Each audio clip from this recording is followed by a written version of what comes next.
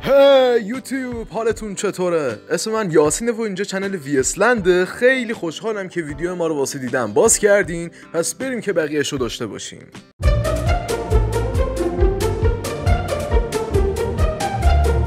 خب guys لطفا subscribe و like و کامنت یادتون نره که باعث دلگرمی ما میشه. ویدیو امروزمون راجع به دو تا از musician های با سابقه و خاطره انگیز کشورمونه. این دو نفر کسایی نیستن جز مهدی احمدوند و سامان جلیلی. اول با مهدی احمدوند شروع می‌کنیم. سی ساله است و توی کرج به دنیا اومده. مهدی احمدوند چند سالی میشه که مجوز گرفت و شروع به برگزاری کنسرت در شهرهای مختلف ایران می‌کنه. اولین آلبوم او از این ساعت بود که در 19 شهریور 93 منتشر شد. کسایی که مهدی رو از نزدیک می‌شناسن ذکر کردن که آدم کم حرفیه ولی خجالتی نیست.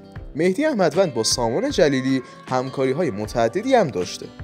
اما برسیم به سامان جلیلی. سی ساله است و توی ساری به دنیا اومده. سامان از خواننده های مطرح پاپ ایرانه و کارهای معروفی داشته. به شدت عاشق فوتبال و طرفدار دو آتیشه تیم استقلاله.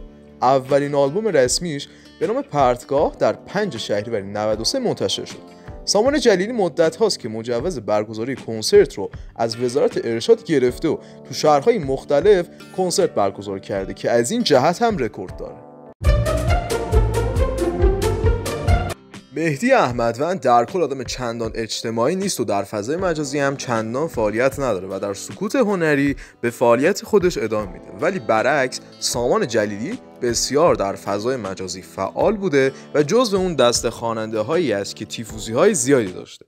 هر واکنشی از طرف او به شدت مورد نقد قرار می‌گیره. ولی با این حال سامان هم در ساخته هاش گفته که چندان آدم اجتماعی نیست و این هایی که برای او ایجاد میشه برخلاف خواست و میل شخصی خودش هست. سامان جلیلی بارها تو ساختهاش گفته که عاشق پلی استیشن و تو خونه میز بیلیارد داره و تفریحش بیلیارده و زیاد از خونه خارج نمیشه.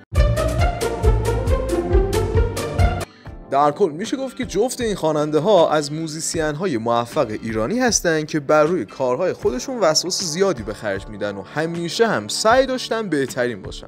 و شاید هم همین موضوع باعث شده که در همه حال جزو بهترین ها باشن و مردم کارهاشون رو بیشتر دنبال کنن. خب guys ویدیو اینجا تموم شد و باید ازتون خدافزی کنیم. اگه این ویدیو رو دوست داشتین لایک و کامنت و subscribe یادتون نره و اون زنگوله بغلش هم بزنید که با انتشار ویدیو جدید از دستش ندید. تا ویدیو بعدی خدا نگهدار.